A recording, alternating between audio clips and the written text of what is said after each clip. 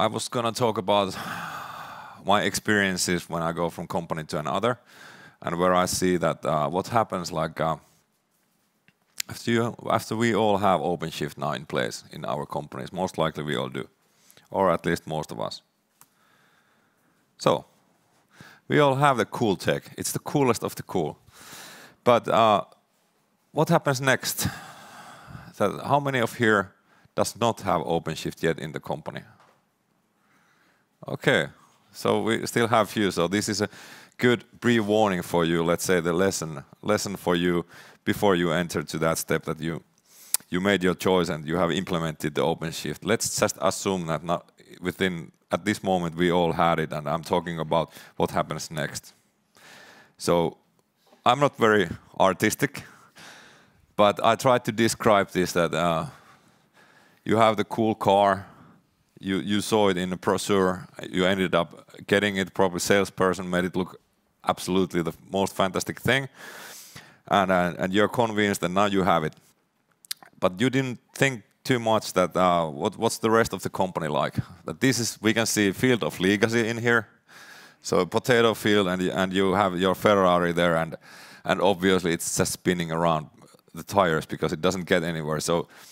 This would be the worst case what happens if you have your technology and didn't prepare well. It's just a technology device which doesn't like uh, get you far. You need to do something else and uh, uh, because I'm not very artistic, I found another video which I didn't do myself, so every Finnish person probably know who is here. So you want to focus on one thing, get going fast and, and concentrate what you are doing. Let the others circle around. So now we have the technology, and we are ready for the race. How do we get the audience next to the track? How do we get the other cars on play and so on? So other applications on our great track and great formula race we are ahead of us. Um, so again, who doesn't like this? So so this is my Best graphics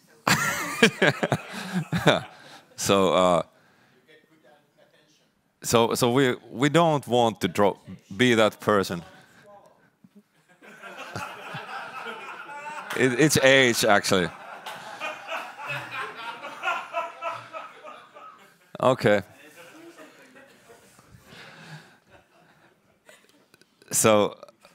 Um, At this point, if if you have this new technology and and, and you tell people that, "Hey, we have this OpenShift now in place, let's be productive. Everybody go there and be productive," you're kind of throwing the other persons like that into the deep end of the pool, and uh, and that does not work. It just does not work. Everybody has your, you have your daily schedule, you have probably your calendar booked with meetings, or you have some deadline in your project, you need to implement something, and people are working often like this, that you don't have really time to learn new stuff just just for the fun of it, that somebody told you that there is a new cool toy. So uh, what we want to do, first, I would recommend that once you have this new cool technology in your house, the most important thing is that there is some ownership for that stuff. Somebody needs to feel like, "I own this new platform." You are like a product owner in that sense, that somebody has this new platform, what do I do that I get it sold within my company? Otherwise, you end up just uh, crunching CPU cycles for idling if you don't get things forward and and who who knows this movie? So so I'm just asking about people's age here. There uh, is the guy, he is like a owner. He's having the ownership. These guys, they were in deep shit at some point, and they needed somebody to take them forward from there. And now this guy is having the ownership of OpenShift in your organization so that everybody gets to look cool after it's been implemented. So First thing what you need to start doing with this ownership, find a sponsor. So if you don't have somebody in your company who is having enough budget to kick things forward, uh, you don't get people's attention. People need to take time to familiarize with the environment, the OpenShift in this case. This actually applies to any new technology, but in OpenShift, you need to find the time for people to read the materials, do the trainings, and so forth. And to get that time in company, if you are having project deadline, you're not having that time unless there is somebody in the company that tells you that, okay, you get to dedicate this and this much of time for learning this new, new technology. OpenShift is, after all, rather complicated, even though it looks simple, but to adapt an application to an OpenShift, there is a little bit learning curve still. Next thing is that uh, go find the adapters. Probably in the, this room, we, we, there is no shortage of those. So you, you people are the early adapters of the technology, often.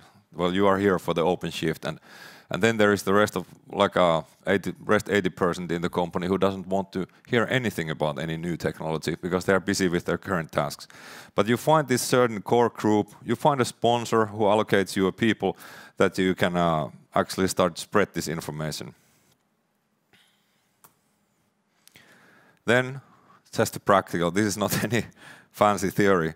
Very practical. I would just train those few people well make sure that they know what they're doing. We have seen here stories of the POC, for example, Eero was telling one. And uh, he, he, he was, I could easily say that you were early adapter in your company and you were doing the POC, you trained yourself well, and then you are ready to tell the other people what to do. So you need to have some core group that, uh, without advertising too much, just take a lesson or take a course from Red Hat uh, University or whichever is your way, but put, invest some time to uh, teach those few people so they are well prepared. Then the COP, actually I don't mind that you, Jeremy, went over your time because you actually helped me here. So community of practice. So Jeremy was pointing out to our community of practice. Community of practice is kind of like this room here now. We are all here a community and we come together around to uh, learn learn new stuff and share ideas and experiences. So form some kind of community of practice in your company. Something. Let's go more a little bit on the next slide. What could be in there, but it, it's basically sharing information, coming together and sharing information, and have open culture that probably all here are somewhat open to open source. So so you, we are sharing our information. You need to do this within your, your own company that find a way instead of being in the silo, something that you can share information from organization to another, having your, it could be something your Confluence or Wiki or something where you start to collect experiences, examples and, su and such, and have this kind of meetings within your company where you can actually like few hours a month, for example, share information and then start mixing and matching people. So like uh, like it was told here earlier that uh, I think Eero also mentioned this that that he goes to different teams to to uh, to educate the others as well, show the lead by example, let's say so. Or like Antti was saying that they have DevOps team, so that would be kind of core probably in their company to start sharing that information across the house. But the main thing is that you need to have like drop somebody in the existing team so he can spread and influence that team, not just provide guides, some personal touch. And then this uh, term celebrate success, that would be probably one part of the COP. You have a community of practice. Let's say that you have this monthly OpenShift meeting in your house and uh, provide good examples that, okay, this was a very successful project here is what we did something very well. It helped us here and there. So, so you kind of get this good vibe going on that, okay, this, this bunch of people are doing like a really cool stuff and they are succeeding with it. And uh, sharing info how the others could be cool people too and succeed in their project. What do you like? Guess who was drawing this also? So basically this community of practice would be that this is your team or silo and you occasionally look out of that box. And uh, what could be this uh, other cool stuff out there? In the community of practice, I, I would start this within your company. So have regular events with the, your sponsor.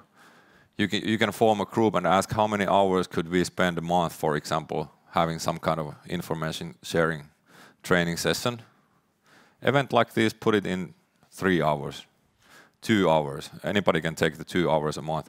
Then there could be what could happen in there.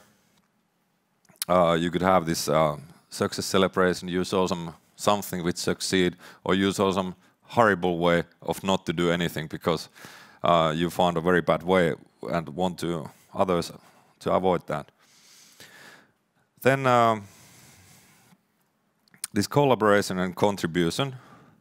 I guess this is kind of dumb, but I mean everybody has some kind of chat, but it, it doesn't necessarily always work in the traditional company chat or what you have some email list or something doesn't necessarily work, but uh, if you can set up a Confluence, some kind of wiki or some kind of discussion area where you can drop your things and ask for uh, guidance from the others outside of your own silo. So it could be some simple question that, how do I do this with OpenShift? Do we have examples of CI/CD with OpenShift? And you drop the question either in the forums or in a chat, hopefully to forums, so the next one can find it also. Doc and code share utilize the GitHub, even though you cannot push your company information there, you can always drop an example code in there which doesn't like reveal any of your company secrets. Uh, make it easily accessible. Again, keep it short so you don't have to like excuse yourself for a day per week or something like that. It would never work. And uh, and give the others opportunity to shine also. So you as this uh, kind of messenger in the company that you don't need to be the one always presenting. Let the others others present their own successes and cool stories. And here here we have I put up some list of these. I just added the ones that Jeremy also had there. So there is so you have the link. I can drop this uh, slide somewhere. So this is the link what Jeremy had there, and and and the uncontained ones. I forgot those. Then, uh, of course, first one is the training classes. That's where you find the OpenShift for for admins and developers as well. Then, I really recommend this job, uh, this uh, to look what Diane and the bunch have done. That that's the way how I started with OpenShift. Okay, I, I came to work at Red Hat because I, I saw that OpenShift is coming and it was interesting first thing when I started to get spend my days with OpenShift, I actually went there and watched all the videos that were available. There. Yes, I did. and and all the actually excellent work what uh, Veer Mukandi, I don't know how to say his name, but he had these uh, demo videos, a lot of them. At, no, not Grant Shipley, but Mukandi, Veer Mukandi, or yeah, okay, that, that's that's the way you pronounce it. Yeah, there are really simple stuff. That could be something for your community of practice. How do I set up a CI/CD pipeline? How do I set up uh, whatever route in OpenShift, for example? Very short, few minute videos showing all the different parts. And uh, then the examples, most of those videos, what you find there, you will find the uh, matching code from the OpenShift org, uh, from the GitHub.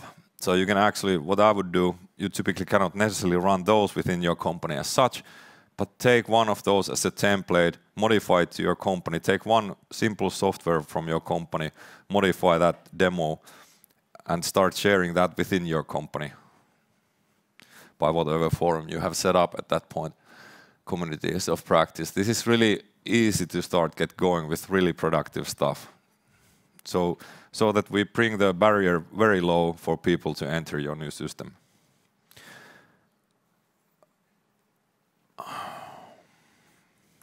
That's pretty much it. I was hurrying through because I thought I have only 15 minutes, but I managed to do it quicker anyway.